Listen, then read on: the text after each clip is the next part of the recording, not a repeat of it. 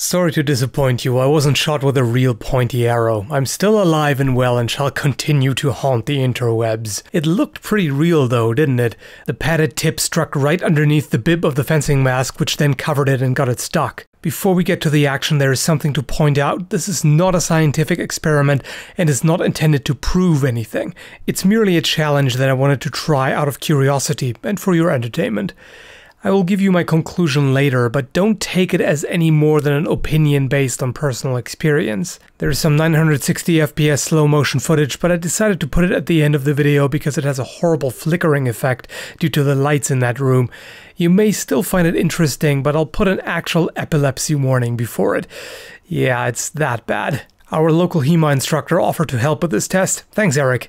Thanks for gleefully shooting at me, you bastard. Seriously though, it was all in good fun. I took three of my arrows whose tips had snapped clean off, filed them smooth and covered them with tape, a 5 cent coin, dense closed cell foam, soft foam, and a layer of cloth.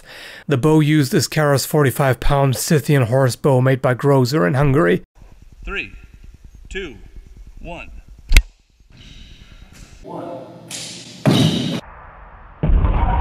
What struck me immediately, aside from the arrow, is just how difficult it is to get the timing right. Moving quickly alone doesn't do it. There is enough time to strike, but it's extremely hard to judge the distance of the arrow as it's flying in a straight line at my face. One. Three, two, one. one. One thing I really underestimated is how much the natural flinching reflex gets in the way. I try to focus on the form and keep my movements clean and controlled, but having an arrow in my face made that extremely challenging. You can see how my head jerks and my footwork suffers from the oh crap response. Three, two, one. One. This one was really close. If I had sidestepped in the opposite direction, I would have gotten it. By the way, it's dramatically easier to dodge an arrow than it is to try to cut it out of the air. And you can tell that when sidestepping, my form is less wonky because I'm more confident. Three, two, one.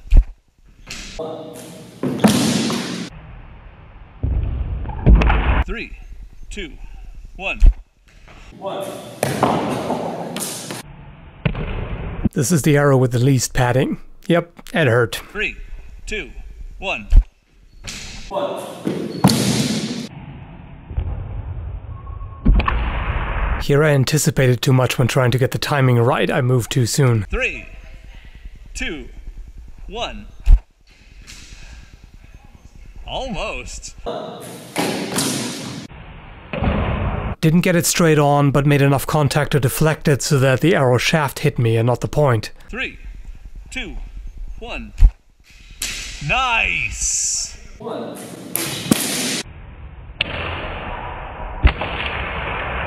Finally, it took a lot of attempts. I included most of them in the video, with the exception of two or three missed shots and three failed attempts, which just didn't look good. Three, two, one. That one broke.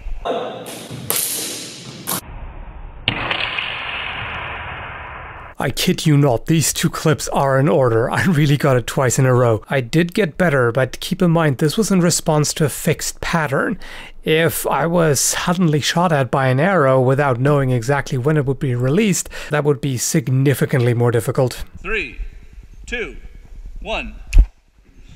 one. Three, two, one. Nicely done. One.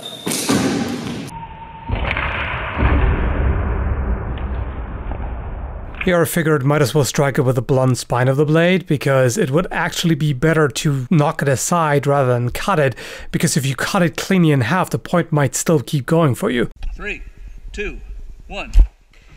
One.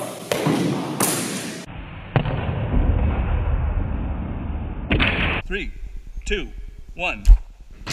One. Again, horrible flinching. Three, two, one. What? Three, two, one. Nice dodge. One.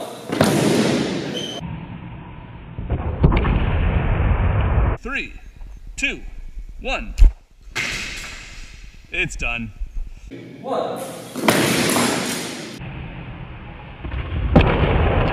For this one I tried to parry rather than strike it, which might be more effective, but unfortunately that was the last arrow at that time, the other two had already broken, and now that one went too, so that was the end of the test.